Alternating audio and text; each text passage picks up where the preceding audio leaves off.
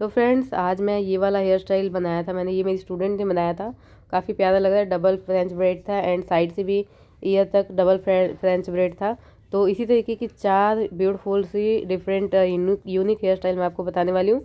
पतले, हल्के और छोटे बालों में। सॉरी तो आप ज़रूर ट्राई करना। बहुत ईजी है।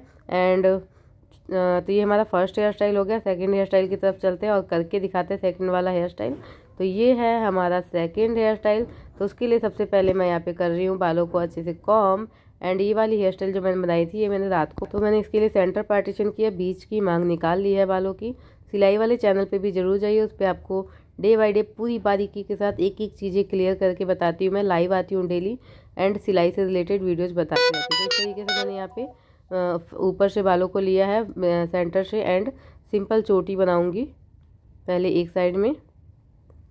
तो इस तरीके से ही आपको भी करना है। आप चाहो तो थोड़ा ज़्यादा भी हेयर ले सकते हो बट मेरे बाल इतने ज़्यादा घने हैं नहीं जितने दिखते हैं तो मैंने इस तरीके से लिया है एंड यहाँ पे एक बालों को हटाऊँगी एंड बॉबी क्लिप से इसको सिक्योर कर दूँगी। ऐसे बालों को इसलिए हटाया ताकि बॉबी क्लिप हमारी दिखाई ना दे। फिर दूसरी साइड एक और लेयर लिया है। उसके लिए पहले आगे से जो हम हम लोग को लेयर निकालनी है वो निकाल लिया है और फिर से इसको थ्री पार्ट्स में डिवाइड करेंगे और सिंपल चोटी जैसे अभी हमने बनाई थी सेम उसी तरीके से आपको एक और चोटी बनानी है। और इस वाली चोटी को भी उसी क्लिप के अंदर ले जाके सिक्योर कर लेंगे। तो इस तरीके से गूथ लिया है। एंड इसी चोटी पे इस तरीके से पिन पिन के अंदर मैंने कर दिया है। एंड इसको डबल क्लिप लगा लीजिएगा अगर आपको लंबे टाइम के लिए ये हेयर स्टाइल बनाए रखना है तो। तो कुछ इस तरीके का लुक आ रहा था। फिर दूसरी साइड भी हम लोग इसी तरीके से हेयर स्टाइल बना, चोटी बनाना स्टार्ट करेंगे। तो आपको चारों में से कौन सी हेयर स्टाइल सबसे ज़्यादा अच्छी लगी मुझे कमेंट करके ज़रूर बताइएगा।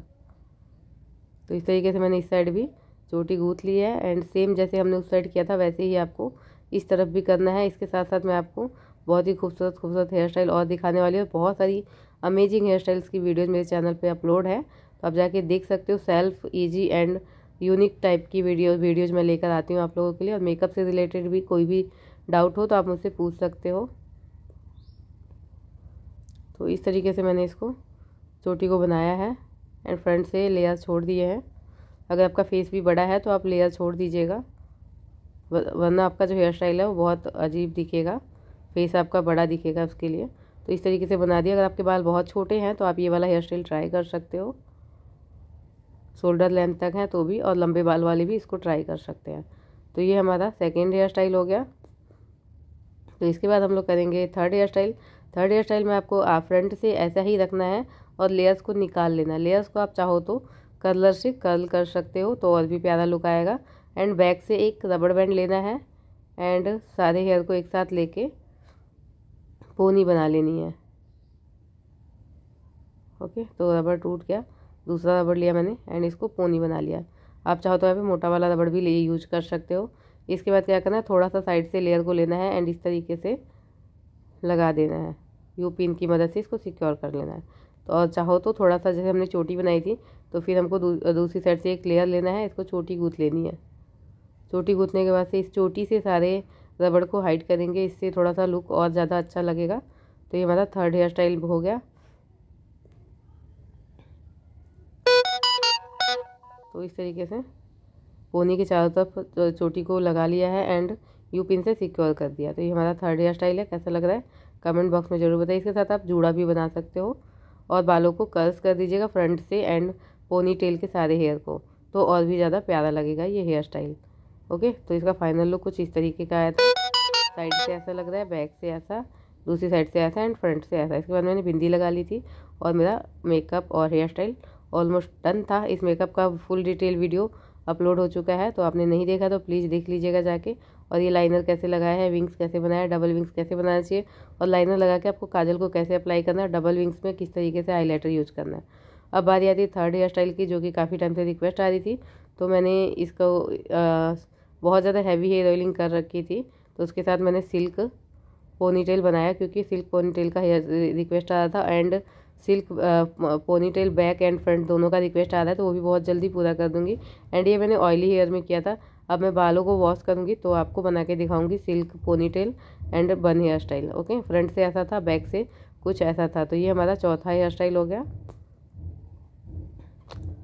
इसके साथ आप बन भी बना सकते हो। बन बनाने के लिए हम लोग को क्या करना है?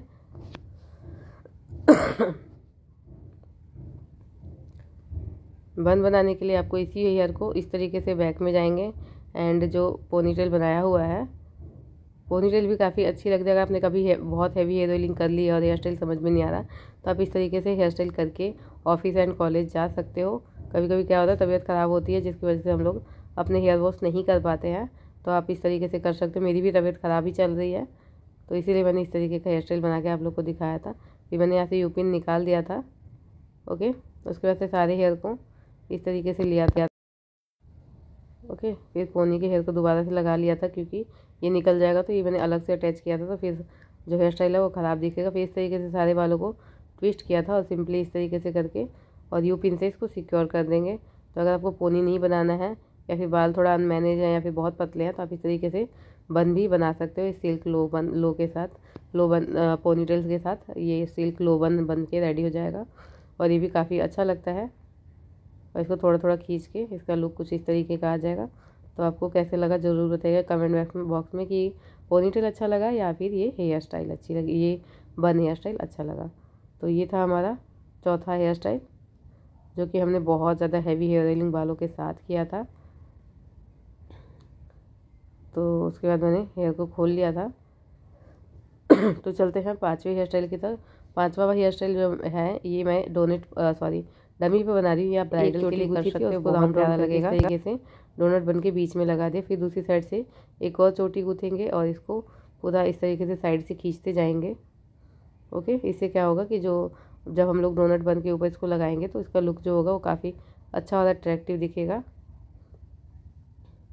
तो इस तरीके से लपेट दिया है बालों के डोनट बन के ऊपर और यूपिन से सिक्योर कर देंगे। एक यूपिन हम लोग यहाँ लगाएँगे एंड दूसरा दूसरी साइड में लगाएँगे। फिर दूसरी साइड से भी इसी तरीके से थोड़े थोड़े लेयर्स लेंगे और उसको सिंपल चोटी बनाते जाएँगे। चोटी को एक साइड से खींचते जाएँगे। जैसे मैं यहाँ पे वीडियो में कर रही हूँ। आई होप कि अच्छे से समझ में आ रहा हो आपको।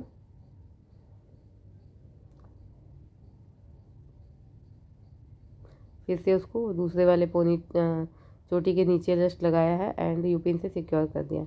ऐसे ही करते जाएँगे और सारे बालों को कॉम करके और चोटी बना के डोनट बन को हाइड करते जाएँगे। इस तरीके से। एक साइड से हेयर को खींचते जाएँगे। ओके? और यू पिन से सिक्योर करते जाएँगे।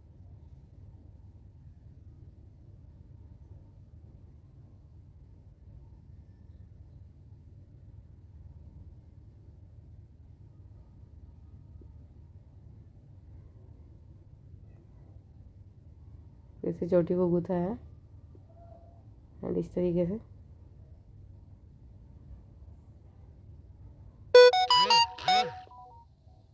करते जाएँगे और पूरा बन जो है, कुछ इस तरीके का लुक आएगा अभी। कट मत कीजिएगा वीडियो, देखिए अभी और भी थोड़ा सा है डिफरेंट लुक इस तरीके से ट्विस्ट किया है और बन के चारों तरफ़ से लपेट दिया है। और इसको आप थोड़ा सा डेकोरेटिंग पिन से डेकोरेट कर सकते हो। और भी प्यारा लगेगा। और इसको साड़ी के साथ बना सकते हो, लहंगे के साथ बना सकते हो और शादी वेडिंग सीज़न में आप ये वाला बन ट्राई कर सकते हो। आई होप कि आपको वीडियो पसंद आया और हेयर स्टाइल अच्छी लगी हो। तो वीडियो पसंद आई तो वीडियो को लाइक शेयर कर दीजिएगा चैनल को सब्सक्राइब कर लीजिएगा। Thanks for